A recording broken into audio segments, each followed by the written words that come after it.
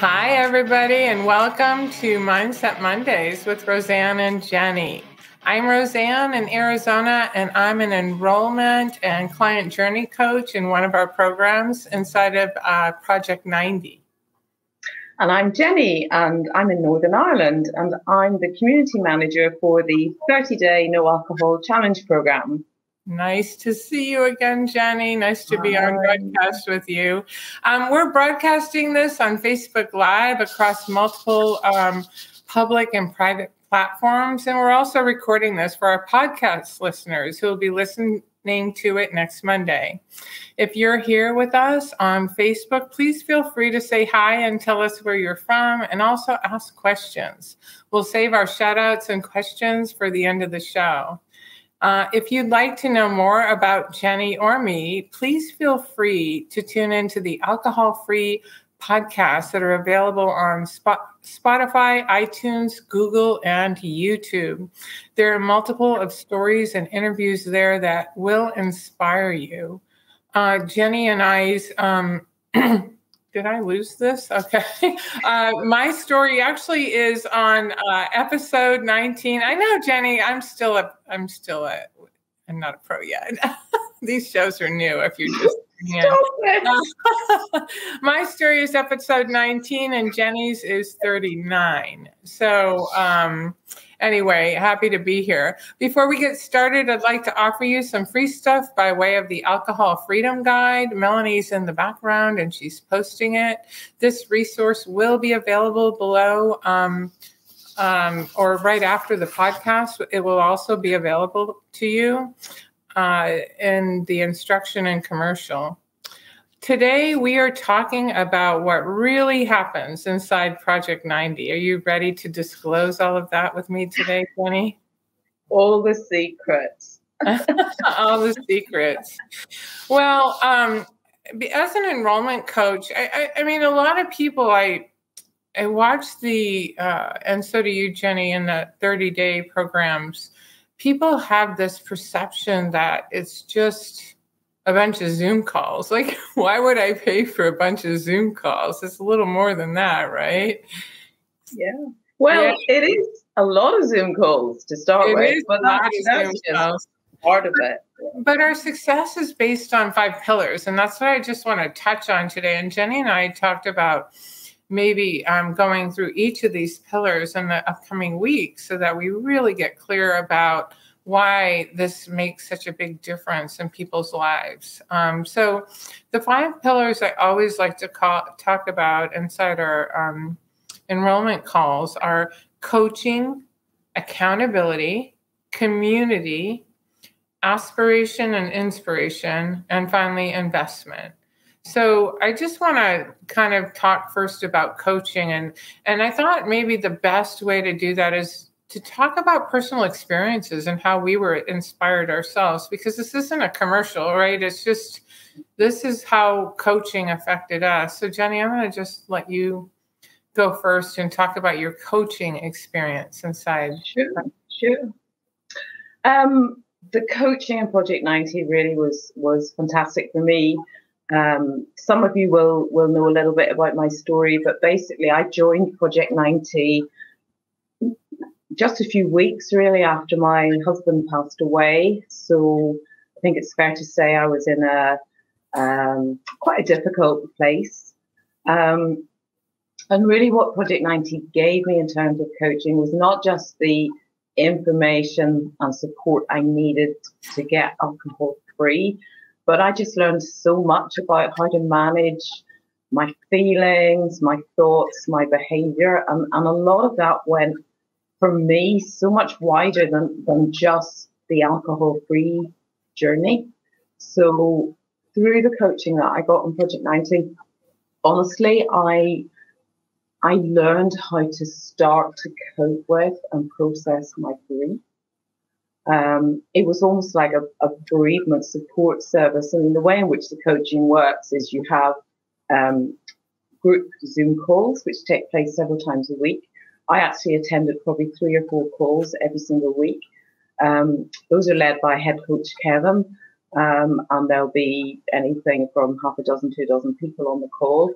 and everyone will share, and then we'll be coached through everyone's experience and how best we might manage those experiences. And, and you just learn so much from hearing what other people are going through. On top of that, then there's the one to one coaching call, which you have every week with Kevin. And that's a brilliant opportunity for what it was for me to, to dig in a bit deeper into things that I was just starting to deal with and wrestle with and, and get a bit of Kevin's wisdom on on particular aspects um, of, of my life that, that I was trying to work through. So really for me, the combination of, of Kevin's wisdom, and I mean that man is nothing short of a, a guru. I learned so much from him. I have I have a notebook full of, of quotes from Kevin. And we have a little a little line. I think it was Danny came up with it in the alumni group. Um, WKKD, wicked. What would Kevin do? Um, because he just is is so good at, at offering a different perspective. And, and probably that was one of the things I find most useful, just getting his and other people's different perspectives on my situation and different things that I could manage in a more in a more constructive way. So that was the coaching experience for me, Sam. Thanks, Jenny. Um, yeah, and for me, I and I do want to mention that people don't. We I try to say this as as in as many places as possible that this is really a coaching pro- program while you put alcohol to the side, because we're really dealing with a lot of the reasons why we reach for alcohol. I'm stressed. I'm depressed. I want to have fun. I want to fit in. And so, um, you know, or I do it for business, I entertain, I'm in sales. So, in these meetings and in our private calls, we're talking about how we manage the trigger that's creating the pattern of grabbing the drink, right? Let's go out and have fun and have a beer. It could be as simple as that. Or I'm depressed, let's have a drink and like numb yourself out. And for me, I drank because primarily I was, I love to have fun. So that was definitely a big part of my life too. Um, but I, and that's how my drinking started. It's very social, right? Um, but then um, I I really used alcohol to numb and check out completely.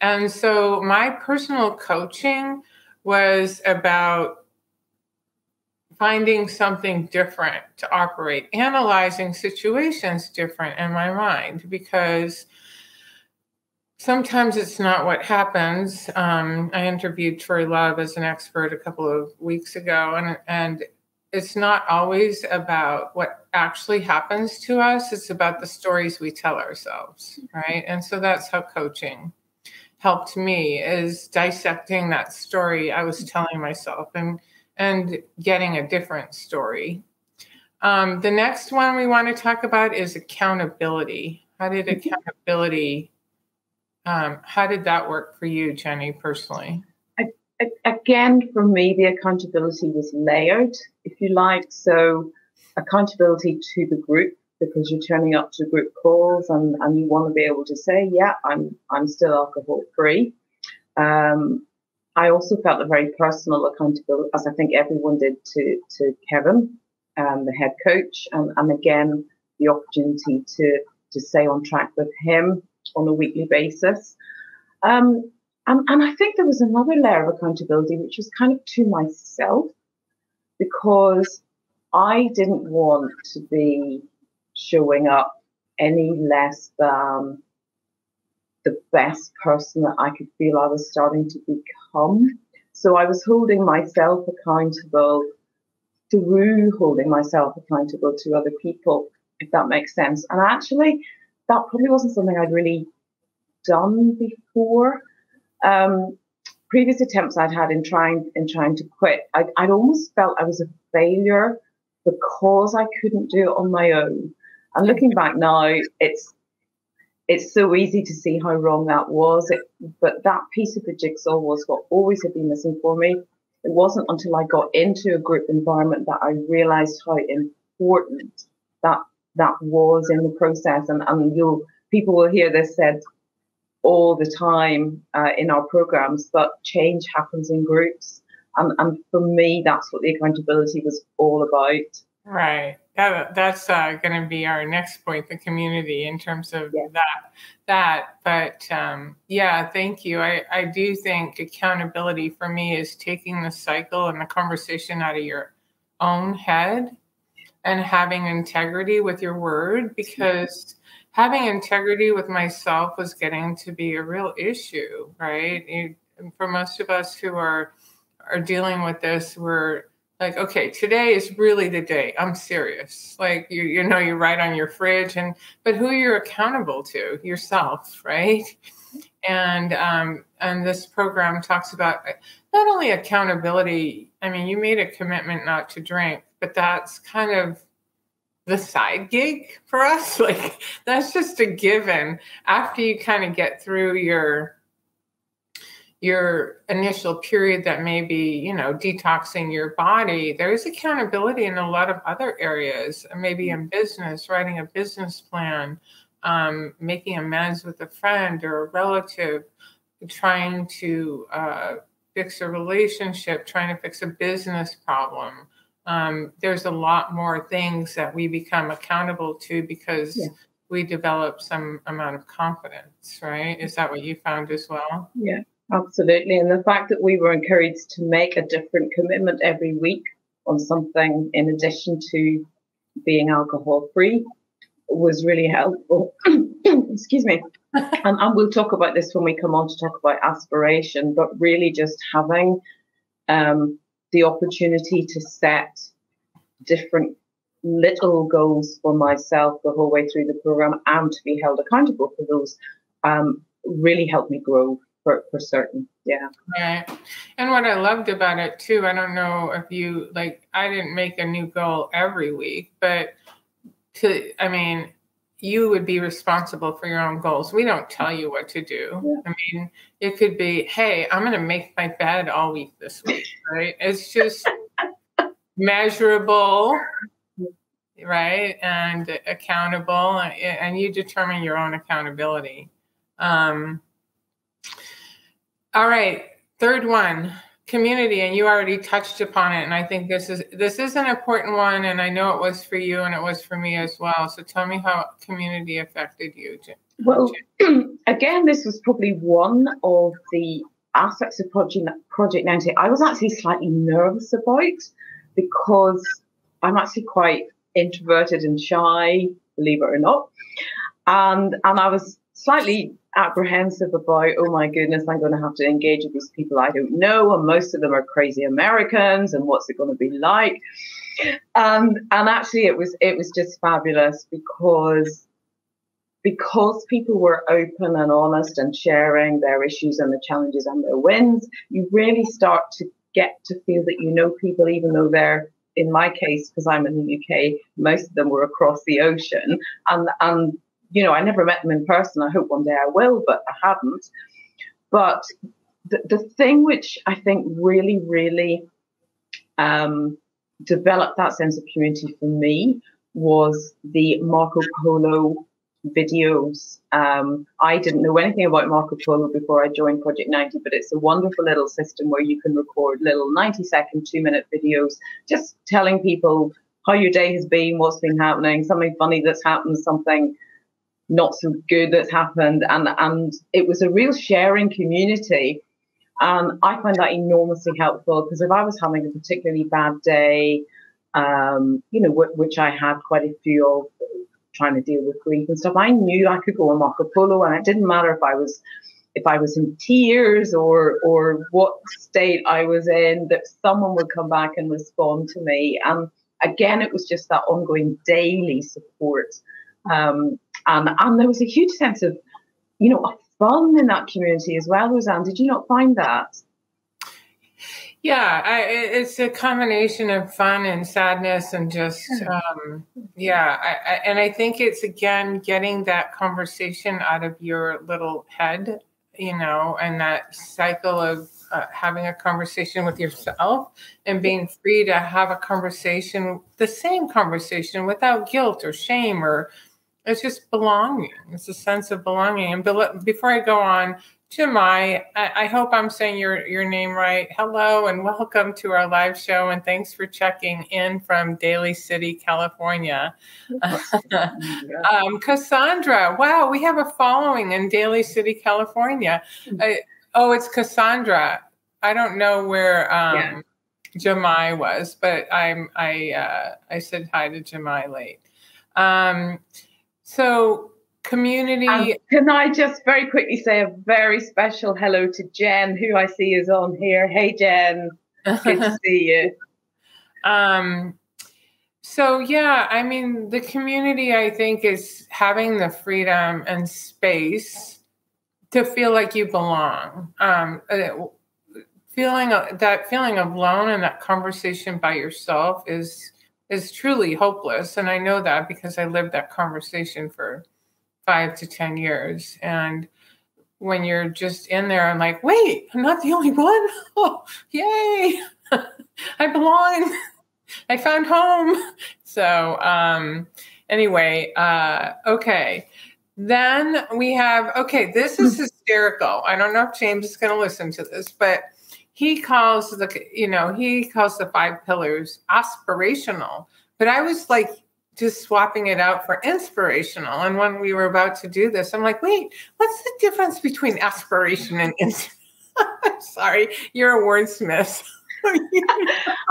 aspiration is something you hope for. And, and inspiration is something which comes from within you to give you what you hope for. Right. That, that's my that's my non checking the dictionary definition. I think that's exactly what it was. There's a difference between you're inspired by others, but you're aspired to do something yourself. So I'm changing, James, I'm changing the five pillars. hey, well, I, I'm adding to it. So one of the pillars is aspiration, but I, when I have my enrollment calls, I say aspirate. It's inspirational because people are giving you motivation to have aspiration. You're go ahead. Talk about how you mm-hmm. were inspired. Well, I mean the the the ground rule of it all really was the going alcohol free. That's what started to open up doors for me because, as, again, as people always say, that's what started to give me focus, clarity, mental energy, all those things. Um, I was at, as you know, a, a crossroads in my life. I was in a position where my life had changed irrevocably. Um, I was going to have to find a new purpose, a new direction, a new meaning, if you like. I'd spent five years nursing Clive, so that was a, a big hole when when he was no longer with me. Um, and and Project 90 gave me was um I think what it gave me was the confidence to think about what I could be and what I could do next. And and um, you know, when I look at how my life has changed in the last eight months, I've set up my own proofreading business. I've started volunteering with a, a UK charity, which is a suicide prevention helpline. Um, I've become the community manager for the 30 day challenge, which is fantastic. So lots of things have started to come into my life that would never ever have been part of it were it not for what I got out of Project 90. But I think more importantly, I would never have allowed myself to believe that these things could become part of my life because I wouldn't have thought I was capable of it. Um, mm. So that's that's the aspiration and the inspiration coming together, if you like.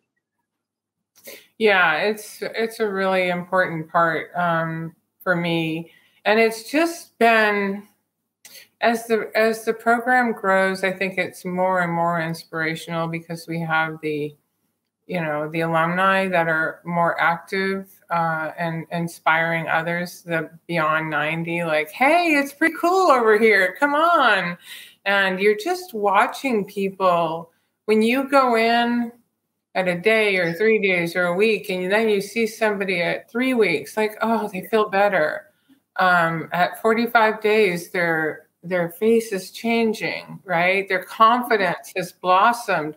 At some point between 60 and 90, um, they uh, they get this click like wow you know? And so it's hard not to be inspired and and have aspiration because you're like okay that's what i want. That's why i'm staying in this. That's why i'm sticking here. And you're in and you're in you know what i mean? And it's just constant and then as you become and jenny you were the epitome of this as you grow in confidence and learn and then you turn that information that you turn that around and you become a great inspiration for others. You were you were such an inspiration for so many by just saying look guys i'm here on the other side. I i you know focus on kevin. Come in here and speak. It, you know i i just know how much you inspired so and you continue to inspire people inside uh, the 30 day no alcohol challenge it's definitely something you are amazing at. So, did you oh, feel that switch? did you feel that switch though yourself and turning from learner to teacher? Well, I, I wouldn't go that far because I'm I'm always still learning, and as you know, I'm part of the alumni group, and those calls are very important to me as well. Still, and and I, um, you know, I I think perhaps one of the things I learned was how much I still have to learn. but if if anyone, you know, can benefit from any of my experience and, and you know, Rose Ann, I'm always happy to share my story. It's not the the easiest of stories, but I'm not the only person in the world who's ever lost someone very dear to them. And um, you know, I, I look back on the the just the groundswell of support and love, absolute love that I was given in that group. Um, and that meant more to me than than any bereavement counselling I could ever have paid for because it was coming from a real place of of, of care. Um, and if I can give even a fraction back of what I got from that from that program, then I, I think I'll have achieved something. Yeah. Oh, you're definitely giving it back in everything you do right now. That's for sure, Jenny. hey, I want to take a minute before we get to our fifth pillar to say hi to Steve. I am so glad you are here as well. He is from, where is Steve from? I don't say. know where he's from. Um, and Jen told us that she's from Ontario, Canada. And um, yeah, we are so happy. Marie, hi from Raleigh, North Carolina. It's just so fun. And and we're still looking for somebody from Northern Ireland. uh, if, if, anyone from Northern Ireland ever comes on here, I will give them a special prize. I don't know what it is, but I'll give them a special prize. We get confetti ready. Confetti. okay, and then our last pillar, as as we get towards the end of the show, is really the investment part, and um, it it makes a difference, right? It, there there are things. There's AA that's free, and and many people have tried that. That I talk to, they've tried it, and usually people that call us say that's not for me. It's not not for me. I know it's free, um, but most of the programs or or any type of coaching, whether it even be a personal trainer, it costs money, right? And you'll find yourself investing in yourself because it's it's out of bounds of where you're yeah, I mean, let's just take personal training as an example. Jenny, have you ever used a personal trainer? Sorry, oh, I don't know why I'm laughing. yes, uh, I I did actually. Uh, back in the day, um, I had a, an Australian personal trainer called Matt, who was absolutely wonderful because he didn't mind how much I swore at him. Okay. So okay, stop that right there. So that's the thing, right? You can read in a book how to do a deadlift or a curl, right? But a trainer is going to put, or a, a coach is going to push you out of your place of comfort And really, that is key because a habit is your place of comfort. Loop, loop, loop, comfortable. To, in order to change the loop, it needs to feel a little bit uncomfortable, which is why, you know, not everybody, but those people who choose Project 90 are choosing a coach because they need that eh, nudge to go into a level of discomfort. Um, meaning, I'm going to process that conversation with my coworker differently. I'm going to process my conversation with myself differently. Those aren't easy things to do. Um, but but you can read all the books in the in the world, but sometimes you need a coach yeah. to, to just go, you can do this, Rose Ann. That's basically what um, my coach did. And and I do want to mention with respect to coaches, we have grown our coaching program. We have um, David in there. We have James coaching in there. We have Kevin. I coach mostly from peripheral um, means uh, through Marco Polo, but there are a lot of touch points for a lot of people in coaching and inspiring you all in different ways, and um, and that part is fun. So, yeah, there's a bunch of different coaching, and and look, if you're going to, you want to have um, capable coaches. And Kevin's um, a trained addiction addiction specialist. He's got tons, lots of other certificates, and spent. Uh, he is amazing. As is James. They just taught me so much, so much. Yeah, and, so, and I think the point, Rose Ann, and that back to your example of the personal trainer. I mean, the point about paying for something is it means you show up and and the other thing I would say is the distinction between price and value. You know, Project 90 isn't especially cheap. It's an investment. But hand on heart, it's the best money I ever spent in my life. I mean, my life has changed unrecognizably in the last eight months. Um, you, you, I mean, it sounds like a cliche, but it's a cliche because it's true. You cannot put a price on that. You just can't.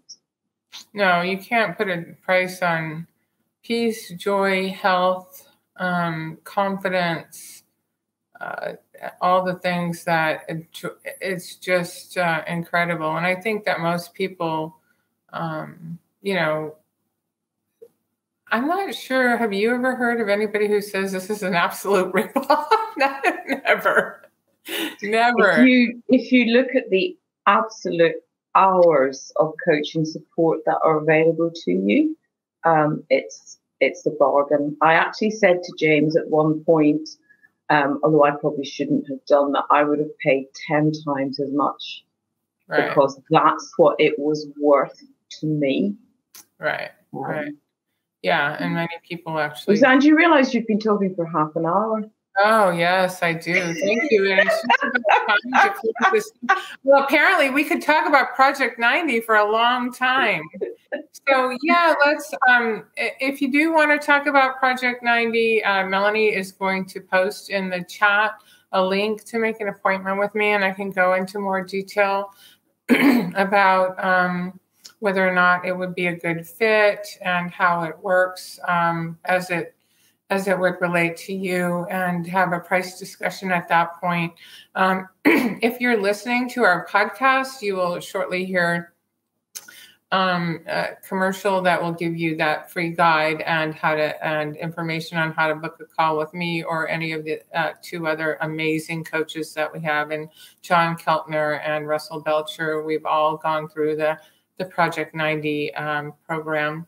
Uh, Jenny and I plan on talking more about the specifics of coaching accountability, community, aspiration, and inspiration, and investment in our future um, Facebook Live and podcast events. So, Jenny, it was great to see you, and uh, always you. fun to work with you. So, uh, I'll see you. See you next week. Bye. Bye, everyone. Thanks for listening to the Alcohol Free Lifestyle podcast. I want to load you up with some free stuff right now. So if you want to go to jamesswanwick.com slash guide, I will send you my Quit Alcohol Guide, which has helped six-figure entrepreneurs and top professionals reduce or quit drinking. You can also text the word quit guide to the number 44222 if you're in the US, of course. It doesn't really work anywhere outside of the US, but if you're in the US on your mobile phone and you'd like that guide, text the word quit guide to the number 44222 or you can go to jamesswanwick.com slash guide. If you'd like to schedule a free 15 minute call with one of my top coaches, just an exploratory call to see if or how we can help you, then you can go to jamesswanwick.com slash schedule, or you can text the word project 90 to the number 44222 if you're listening in the US on a mobile phone. That's jamesswanwick.com slash schedule, or you can text the word project 90, that's one word, project 90, to the number 44222. Feel free to send me a direct message over on my Instagram account, which is at James Swanwick. You can also watch video episodes of this podcast and a series of other educational videos on my YouTube channel, which is James Swanwick 1 or you can direct message me on Facebook at James Swanwick Official. And finally, a request. Would you please now write a short review of the podcast inside of the Apple Podcast app on your phone or on iTunes on your desktop computer? Would you please give the show five stars and write a quick one or two sentence review? This will help the show get in front of even more listeners, potentially transforming someone's life. You can rate and review the show inside of your Apple Podcast app on your phone or over on iTunes on your desktop. Thank you so much, and I'll catch you next time.